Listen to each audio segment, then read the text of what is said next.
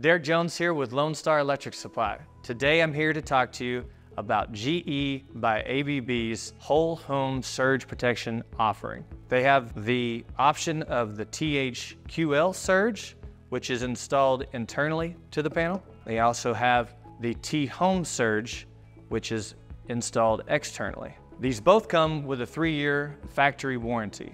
The T-Home surge comes with a $25,000 connected equipment warranty, and the THQL comes with a $15,000 connected equipment warranty. These warranties are in place to give the homeowner peace of mind and also protect all their equipment within their household. We know that not all of the manufacturers meet the NEC 2023 code, but ABB's does. These devices are in stock and ready to go. Call your local Lonestar Electric Supply today.